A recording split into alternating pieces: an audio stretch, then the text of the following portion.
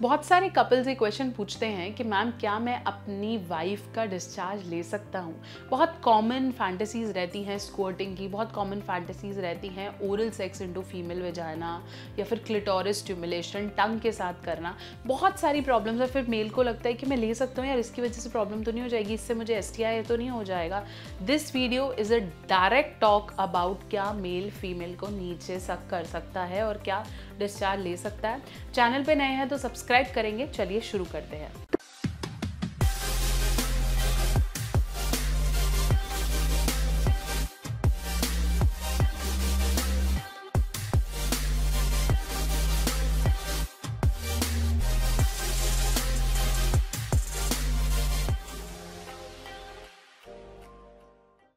सबसे पहले जानेंगे कि it's absolutely normal for those females जिनको आप अच्छे से जानते हैं और जिनकी मेडिकल कंडीशंस के बारे में आपको पता है।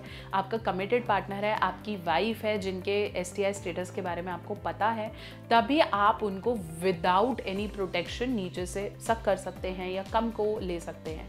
लेकिन अगर आपको उनके सेक्शुअल ओरिएंटेशन के बारे में नहीं पता है पेड सेक्स कर रहे हैं या पहली बार किसी से मिले हैं तो आपको डेंटल डैम का इस्तेमाल बहुत ज़्यादा करना ज़रूरी है।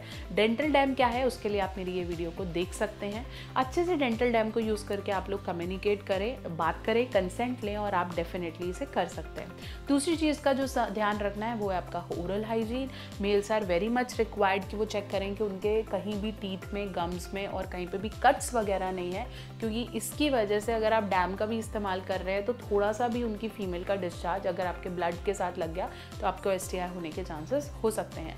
लेकिन अगर आप कंसेंशुअल पार्टनर्स हैं, एक दूसरे को बहुत अच्छे से जानते हैं मैरिज में है तो there is not even one percent of chances about it third it is very important to understand the importance of consent क्योंकि बहुत बार फीमेल ना बहुत अजीब फील करती हैं, नीचे से स्मेल होती है इचिंग होती है बेबीज़ के टाइम पे पीरियड्स के टाइम पे तो बहुत ज़्यादा कंफर्टेबल नहीं होता है। अगर आपको बहुत ज़्यादा इंटरेस्ट है फीमेल को नीचे से सक करने का या कुछ और तो बेटर यह है कि उनके वो टाइम्स याद रखें जब वो अच्छा फील करती हैं और उनकी जो इनसिक्योरिटीज़ हैं, उसके बारे में डेफिनेटली बात करें।